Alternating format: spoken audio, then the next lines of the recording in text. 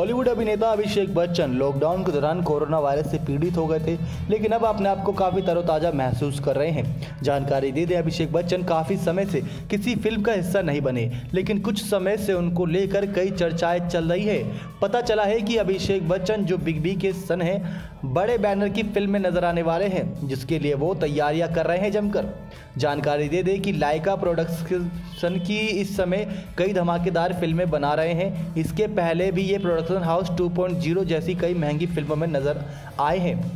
इसके अलावा ये कमल हसन की फ़िल्म इंडियन टू और मणिरत्नम की मल्टी स्टार पोनियन सेल्वन को लेकर चर्चा में चल रहे हैं। खबर आई है कि इसी प्रोडक्शन हाउस से अभिषेक बच्चन को एक शानदार ऑफ़र आया है।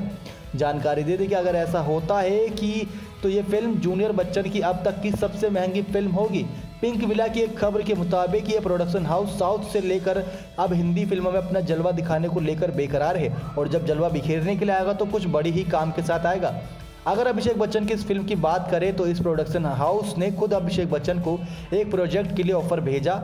फ़िल्म में अभिषेक बच्चन लीड रोल में नज़र आ सकते हैं। इस प्रोजेक्ट को लेकर आधिकारिक ऐलान तो नहीं हुआ है, लेकिन इसका नाम 65 कैरेट हो सकता है। बॉयफ्रेंड की बात करें तो Abhishek Bachchan the big bull को लेकर चर्चा है, जिसकी शूटिंग हो चुकी है। तो ऐसे में अभिषेक बच्चन की वापसी काफ़ी धमाकेदार होने वाली है बॉलीवुड इंडस्ट्रीज़ में, जहाँ इतने समय से काफ़ी दिनों से बॉलीवुड इंडस्ट्रीज़ की लाइमलाइट से बाहर थे और वेब सीरीज़ में इन्होंने डेब्यू किया। ब्रीथ से काफ़ी अच्छी वेब सीरीज़ थी, देखने में काफ़ी दिलचस्प लगी। हाँ लेकिन थोड़ा बहुत स्टोरी में काफ़ी ज़्यादा खींचा गया था, इसी वजह से थोड़ी बोरिंग कर गई। लेकिन अभिषेक बच्चन बहुत जल्द वापसी करने वाले हैं, उनके फैंस तैयार हो जाइए कुछ बड़ा देखने के लिए अभिषेक बच्चन के द्वारा, जो हम उम्मीद भी करते हैं।